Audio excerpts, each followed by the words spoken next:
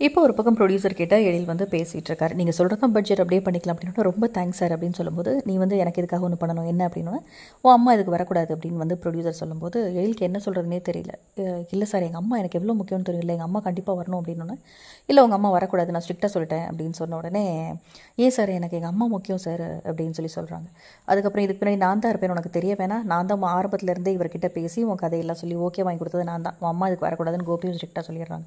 So உடனே அப்படின்னா sir நான் இந்த படம் பண்ணலை அப்படின்னு நீ அக்ரிமெண்ட் சைன் பண்ணியிருக்கேன் நான் நினச்சா என்ன வேணால் உனக்கு பண்ண முடியும். ஒழுங்காக எனக்கு இந்த படத்தை பண்ணி கொடுத்து தான் போகணும்.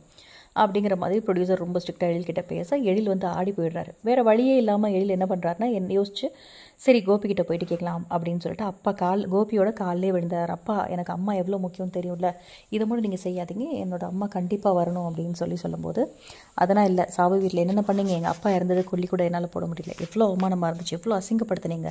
இதுக்கெல்லாம் இதுதான் அவளுக்கு தண்டனை அவள் வரக்கூடாது அப்படின்னு சொல்லிட்டு கோபியும் ஸ்ட்ரிக்டாக சொன்னோட எழில் வந்து அப்படியே ஆடி போய் கலங்கி போய் நிற்கிறாரு என்ன சொல்கிறதுனே தெரில எழிலுக்கு. சரின்னு பாக்கியாவும் உள்ள என்று யாரும் சிரிச்சுக்கிட்டு சந்தோஷமாக வராங்க.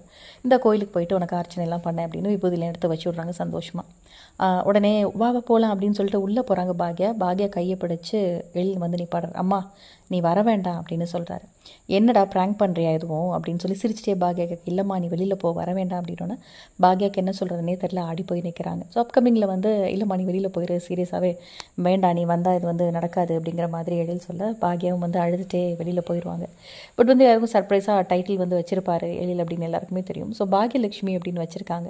இது வெளியில் நின்று அந்த டைட்டில் பார்த்தோன்னா பாக்யாவுக்கு ரொம்பவே அழகாக இருக்குது ஸோ கண்டிப்பாக இதில் எழில் வந்து நம்ம தப்பு சொல்ல முடியாது. ஏன்னா கரெக்டாக எந்த இடத்துல வந்து எழில வந்து பிடிச்சி நிறுத்த முடியுமோ அங்கே கோப்பி பிடிச்சி நிறுத்தி வச்சிருக்காரு. ஸோ அப்கமிங்கில் என்ன நடக்க போகுது என்ன ட்விஸ்ட் நடக்க போகுது ஆனந்த் வந்து அந்த பக்கம் ஆயுத பூஜை ஆர்டர் என்ன பண்ண போகிறார் அப்படின்னு வெயிட் பண்ணி பார்க்கலாம். இந்த வீடியோ பிடிச்சிருந்தால் லைக் பண்ணுங்கள் அண்ட் இந்த மாதிரி அப்படி நம்ம சேனலை சப்ஸ்கிரைப் பண்ணுங்கள் தேங்க்யூ